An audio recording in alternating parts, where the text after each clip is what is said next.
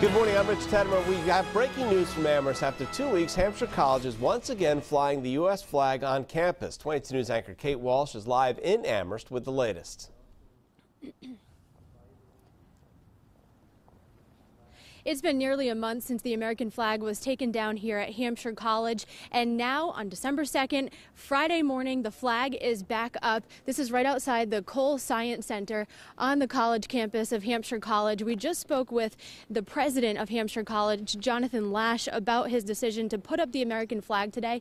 He said after a few weeks of it being taken down, because many students viewed this as a symbol representing racism in the United States. He's had discussions with people across campus and many organizations and decided with all of the publicity this has gotten, he wanted to put the flag back up. He will also be having a conversation with veterans organizations. They do plan on having another rally, so to speak, a gathering this weekend like they did last Sunday. That one was a protest in the flag being down. This one could possibly be more of a celebration. Those details are still being worked out, and you will hear from the president, Jonathan Lash. We had a lengthy interview this morning with him.